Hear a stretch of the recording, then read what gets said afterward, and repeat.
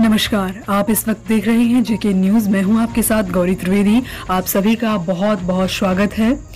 PM Narendra Modi ने मंगलवार शाम को देशवासियों को संबोधित किया। कोरोना संकट के बीच पीएम मोदी अब तक लोगों से कई बार ऐसे रूबरू हो चुके हैं, जिसमें कई ऐसे बड़े ऐलान किए गए हैं।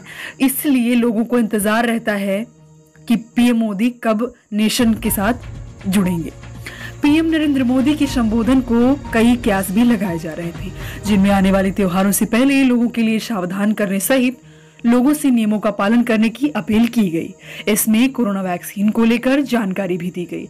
आइए आपको बताते हैं एक एक करके क्या क्या सावधानियाँ बरतने के लिए नरेंद्र मोदी जी ने बोली। पीएम नरेंद्र मोदी ने कहा, याद रखिए, जब तक दवाई नहीं, तब तक ढिलाई नहीं। एक कठिन समय से निकलकर हम आगे बढ़ रहे हैं। थोड़ी सी लापरवाही हमारी गति को रोक सकती है। हमारी खुशियों को धूमिल कर सकती है। जीवन की जिम्मेदारियों को निभाना और सतर्कता से ये दोनों साथ साथ चलेंगे, तभी जीवन में खुशियाँ बनी रहेंगी। दो गज की दूरी समय समय पर साबुन से हाथ धुलना और मास्क ध्यान रखिए। आगे उन्होंने बताया, वैक्सीन के लिए जी जान से जुटे हैं हमारे वैज्ञानिक।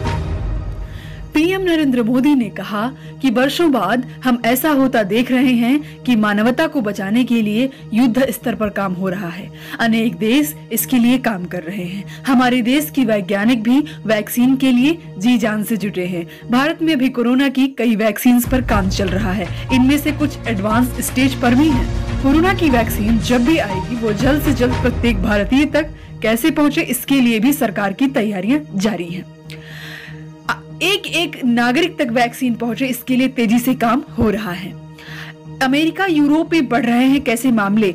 आगे बताने से पहले, आगे बढ़ने से पहले आपसे गुजारिश है, अब तक अगर आपने हमारे YouTube channel JK news hundred M को सब्सक्राइब नहीं किया है तो कृपया सब्सक्राइब ज़रूर करें। वीडियो पसंद आए तो वीडियो को लाइक ज़रूर करें, शेयर ज़रूर करें ज़्यादा से ज़्यादा, और कमेंट में अपने सुझाव ज़रूर डाल दें। आगे बढ़ते हैं। पीएम नरेंद्र मोदी ने कहा कि अगर आप लापरवाही बरत रहे हैं, बिना मास्क के बाहर निकल रहे हैं तो आप अपने आप को, अपने परिवार को, अपने परिवार के बच्चों को, बुज़ुर्गों को उतने ही बड़े संकट में डाल रहे हैं। आप ध्यान रखिए, आज अमेरिका हो या फिर यूरोप के दूसरे देश, इन देश में कोरोना के मामले कम हो रहे थे, लेकिन अचानक से फिर से बढ़ने लगे। जब तक सफलता पूरी न मिल जाए, लापरवाही नहीं करनी चाहिए। जब तक इस महामारी की वैक्सीन नहीं आ जाती, हमें कोरोना से अपनी लड़ाई को कमज़ोर नहीं पड़ने देना है। आगे उन्होंने बताया कि ये लापरवाही बरतने का समय नहीं है। पीएम नरेंद्र मोदी ने कहा कि सेवा परमो धर्मा के मंत्र पर चलते हुए हमारे डॉक्टर्स, नर्स, हेल्थ वर्कर्स इतनी बड़ी आबादी की निस्वार्थ सेवा कर रहे हैं।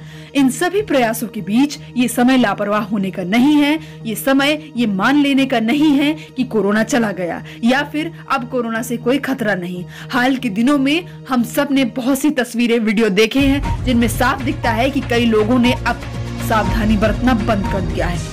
ये ठीक नहीं है। लॉकडाउन भले ही चला गया हो, लेकिन वायरस तो नहीं गया ना। पीएम नरेंद्र मोदी ने कहा कि लेकिन हमें ये भूलना नहीं है कि लॉकडाउन भले ही चला गया हो, लेकिन वायरस अभी नहीं गया है। बीते सात से आठ महीनों में प्रत्येक भारतीय के प्रयास से भारत आज जिन, जिस संभली हुई स्थिति में है, उसे बिगड़ने नहीं देना है। आज देश में रिकवरी रेट अच्छी है। फर्टिलिटी रेट कम है। दुनिया के साधन संपन्न देशों की तुलना में भारत अपने ज़्यादा से ज़्यादा नागरिकों का जीवन बचाने में सफल हो रहा है। कोविड महामारी के खिलाफ लड़ाई में टेस्ट की बढ़ती संख्या हमारी एक बड़ी ताकत है। आगे उन्होंने क्या कहा, बताएँगे आपको। लेकिन आपको हमारे साथ बने रहना है। बीच से वीडियो को छोड़ेंगे तो आपको कुछ समझ में नहीं आएगा। आगे नरेंद्र मोदी ने कहा कि कोरोना के खिलाफ लड़ाई में जनता कर्फ्यू से लेकर आज तक हम भारतवासियों ने बहुत लंबा सफ़र तय कर लिया है। समय के साथ आर्थिक गतिविधियाँ भी तेज़ी से बढ़ रही हैं। हम में से अधिकांश लोग अपनी जिम्मेदारियों को निभाने के लिए, फिर से जीवन को गति देने के लिए रोज घरों से बाहर निकल रहे हैं। त्योहारों के इस मौसम में बाजारों से भी रौनक धीरे धीरे लौट रही है। देश के नाम संबोधन का को लेकर कांग्रेस के पूर्व अध्यक्ष राहुल गांधी ने निशाना साधा।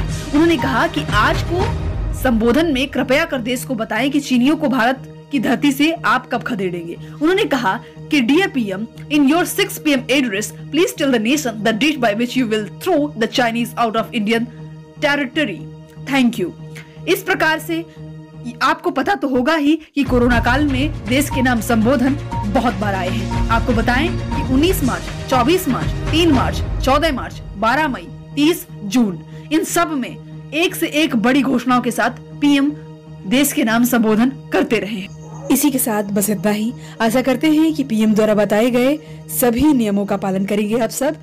Thank you take care goodbye